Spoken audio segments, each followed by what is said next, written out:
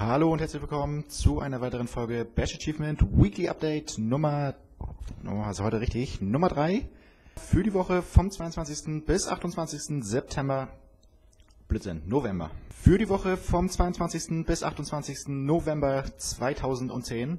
Die Releases für die kommende Woche, da haben wir Driver San Francisco. Ja, und das war's schon. Danke fürs Einschalten. Bis zur nächsten Woche. Oh, nein, wir haben noch äh, tatsächlich ein paar mehr. Keine großartig spannende Woche, die kommende, nachdem die letzten drei, vier, fünf Wochen und Monate uns regelmäßig das Geld aus der Tasche gezogen haben, äh, meint es diese Woche einmal gut mit uns und lässt uns einmal unsere Geldspeicher wieder neu auffüllen. Ah, gehen wir einmal durch die Releases für die kommende Woche. Für den 25., das heißt der Donnerstag, da haben wir Dream, Dream, Dream Pinball 2 andersrum. Dream Pinball 3D2, Alarm für Cobra 11, das Syndikat. Für jeden, äh, der sich gerne wilde Massencrashs äh, und Autobahnrasereien äh, antun möchte. Und am Donnerstag PDC World Champion, World Champion Darts Pro Tour. Ich weiß nicht, ob es großartig Spaß macht, äh, Dart spielen auf der Xbox, kann ich mir wenig vorstellen. Und natürlich am Donnerstag dann äh, der einzige Release diese Woche eigentlich, den es sich richtig lohnt zu erwähnen. Drivers San Francisco. Dann machen wir weiter mit dem Freitag. Da haben wir dabei Splatterhouse, Mygen and the Forsaken Kingdom, Megamind, Tron Evolution, Wintersports 2011. Die Wintersportsaison hat wieder begonnen. Äh, diesen Mittwoch soll es zum ersten Mal schneien. Das vielleicht einmal zu den News vorab, einmal zu den Wetter-News. Und ein Kinect-Spiel Zumba Fitness. Also wieder ein neues Fitnessspiel, äh, jede Menge Fitness- und Tanzspiele im Moment. Wir warten immer noch auf das erste ernstzunehmende Spiel für Kinect. Mal sehen, wann das denn rauskommt. Wir sind weiterhin gespannt. Kommen wir direkt zu den News. Und da sage ich einmal äh, Happy Birthday an Microsoft beziehungsweise an Windows. Äh, 25 Jahre alt ist es gestern geworden am Sonntag. 25 Jahre Microsoft Windows.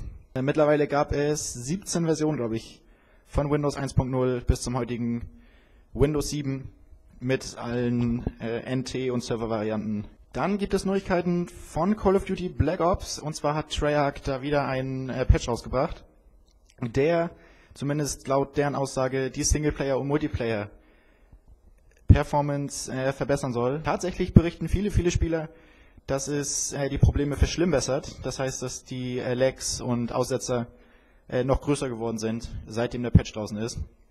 Man darf gespannt sein, wann da der neue kommt, der das denn wieder beheben soll. Und wann wir dann endlich ein halbwegs funktionierendes Spiel äh, und wann wir dann halb und wann wir da und wann wir dann ach verdammt so wird das heute nichts mehr.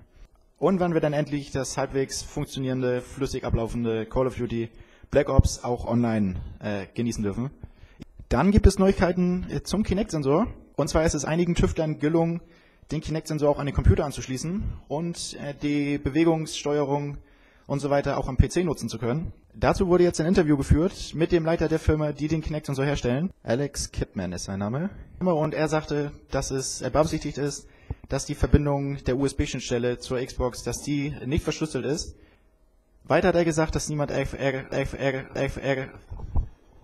Weiterhin hat er gesagt, dass niemand dafür Ärger bekommt, der seinen Kinect-Sensor an den PC anschließt und entsprechende Software installiert, beziehungsweise selber entwickelt, um die Funktion auch am PC nutzen zu können.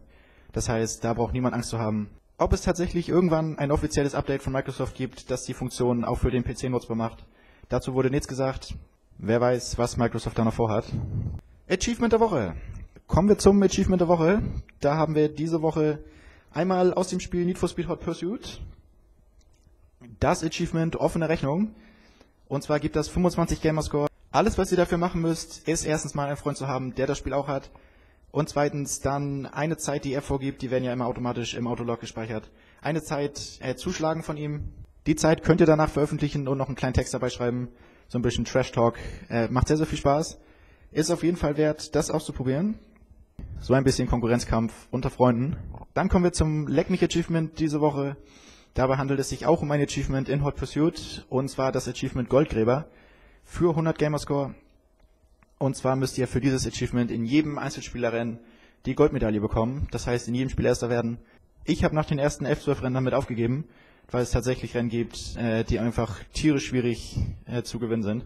An jeden, der genug Geduld hat, sich dieses Achievement anzutun, Respekt von meiner Stelle aus. So viel zu dieser Folge Babu. Schaltet auch nächste Woche wieder ein. Auch wenn die großen Wochen der Spiele-Releases äh, schon hinter uns liegen. Sicherlich finden wir genug Sachen, die es sich auch lohnt, nächstes Mal zu gucken. Wenn euch das Video gefallen hat, äh, abonniert uns, schreibt Comments, bewertet das Video mit gut und dann schaltet nächste Woche wieder ein. Bis dahin, reinkauen.